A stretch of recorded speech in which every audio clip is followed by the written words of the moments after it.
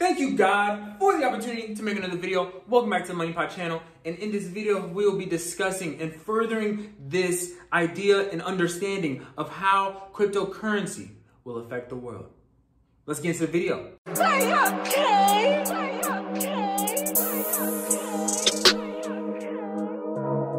Now, in this video, I want to introduce one of the main organizations that I believe is going to be vital for understanding how cryptocurrency will be affecting the world, as well as a few countries that are starting to implement cryptocurrencies into their citizens' daily lives, and as well as the notion that as our technology continues to advance, it will be fulfilling end time prophecy in the Bible.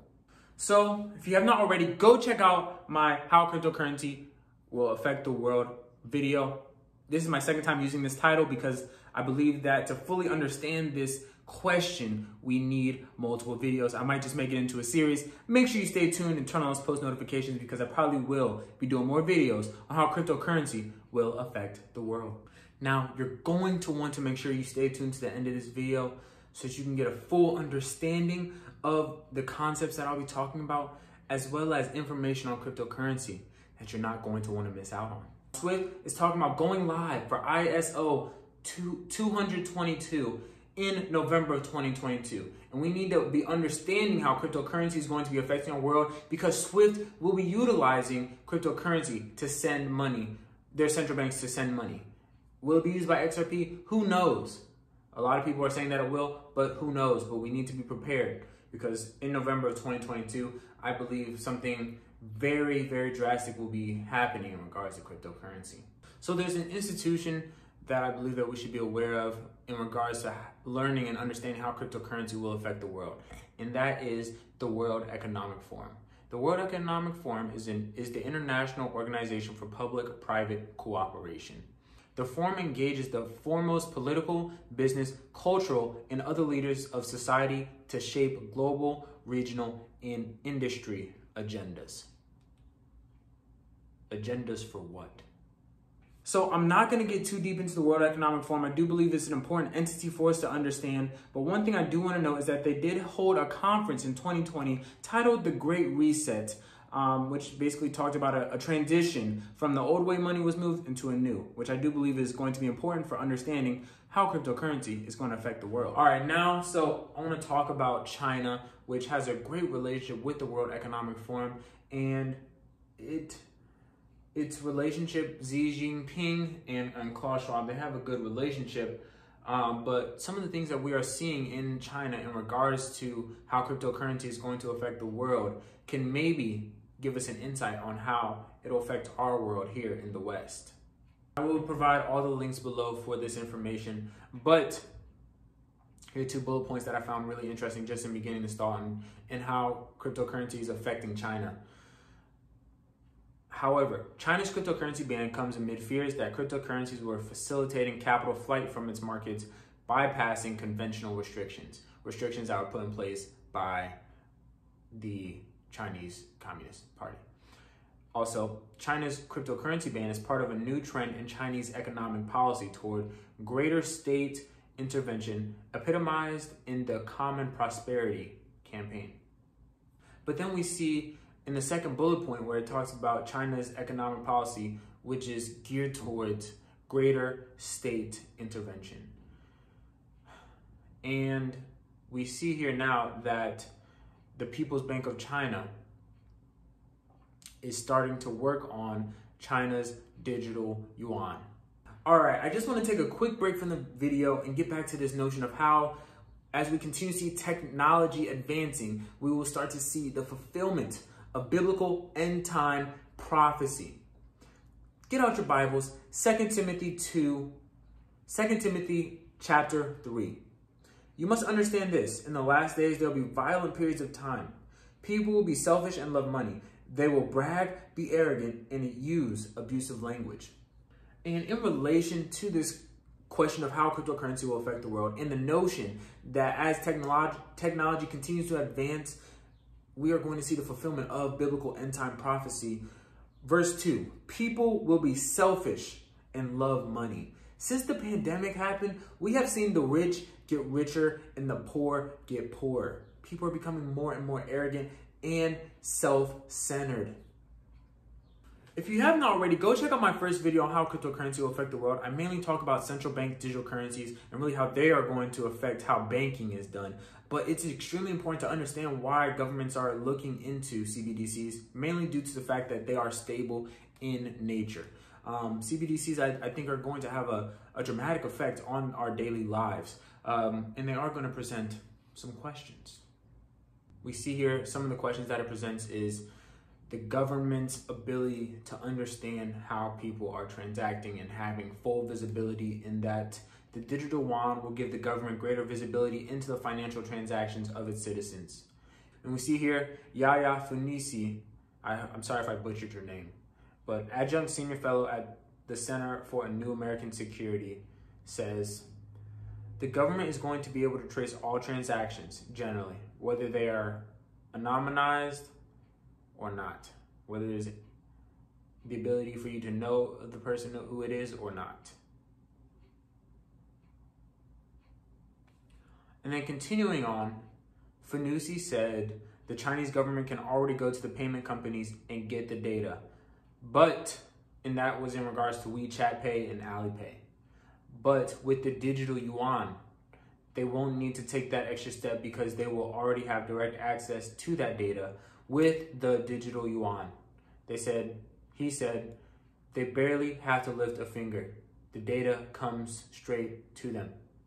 Let's take a look at this clip I found from a show called Prophecy Watchers in regards to China and this cashless society. He's not a Christian, okay, which was helpful in the sense of he wasn't biased in, in any, any way at all, but he said, you guys think that this cashless society, you guys, some people talk about it, you know, but it's not a conspiracy theory. He said, when you go certain places in China, China has put into place because they can as a dictatorship or, you know, tyrannical government, they have just turned off cities and said, this city, you're going to be 100% digital.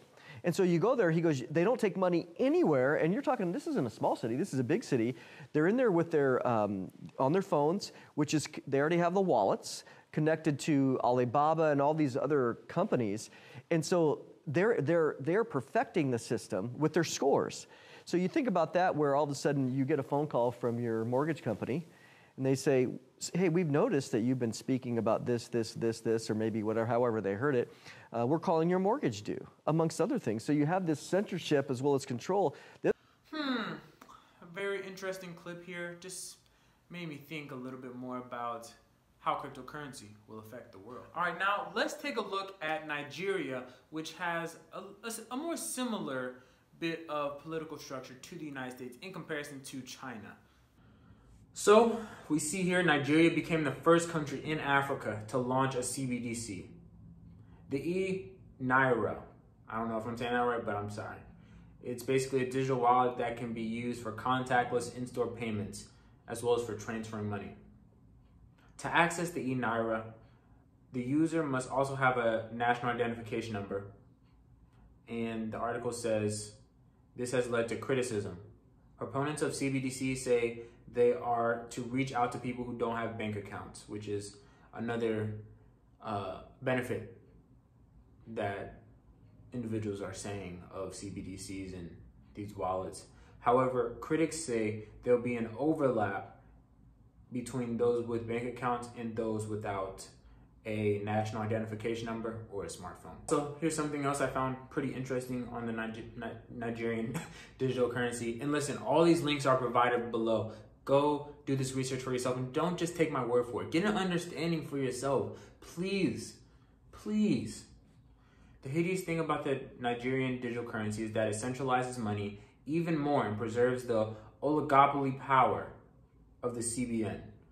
Unlike crypto assets such as Bitcoin and Ethereum that aim to democratize and decentralize finance, the Nigerian digital currency grants near total control to the Nigerian Apex Bank. And here as well, found this interesting.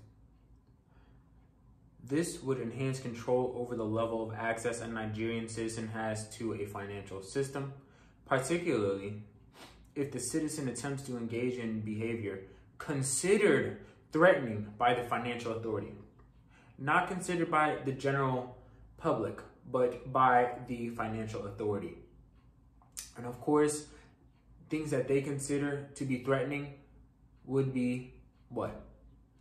Speaking out against them, uh, trying to form uh, groups that would be against them. And in the beginning of this video, I said that these technological advances that we're starting to see is the slow fulfillment of end time prophecy. Go to your Bibles. Revelation 13. We'll start at verse 16. The second beast forces all people, important and unimportant people, rich and poor people, free people and slaves, to be branded on the right hands and on their foreheads. It does this so that no one may buy or sell unless he has the brand, which is the beast's name or the number of its name. So we see that the mark of the beast has to do with something related to finances. Could it be cryptocurrency? I'm not sure. Who knows? But it's important to be mindful of biblical end time prophecy and how we are living so that we, you know, I believe, so that we make sure that our hearts and minds are not falling victim to the devil's devices. So, yes, technology is advancing at a greater pace, but at what cost to our ability to live free? Earlier this year, we saw the Biden administration put out a task force essentially on this initiative towards central bank digital currencies. And in reality, the United States is behind a lot of uh, developing countries, which is unfortunate, but at least we have started. So we're just gonna have to see what the United States um, comes up with in regards to policy, in regards to regulating it, and laws. I think that the United States is, won't potentially act how Nigeria's government is or how China's government is in regards to central bank digital currencies, uh, I think that you are just maybe lying to yourself potentially. Um, if you look at the Patriot Act, which was a law started, created right after 9 11, it talks about, it gives access to uh, federal investigators to looking into our transactions, our phone records in in the wake of anti-terrorism, but it does take away uh, some of our privacy rights. And could it be used for cryptocurrency? Who knows? Who knows? So thank you all for tuning into this video here on how cryptocurrency will affect our world and us taking a look at these two countries and um, you know, basically how it's been rolling out and, you know, just understanding the amount of control that governments may have with central bank digital currencies. Hope that you're able to find it informational and beneficial in understanding that as we continuously advance in our technology, we're just seeing the fulfillment of end time prophecy in the Bible. Hope that you're able to find it informational though. Like, dislike, share, subscribe, do what you do, but I appreciate you. Until next video, stay blessed, stay healthy, stay prayed up. Peace.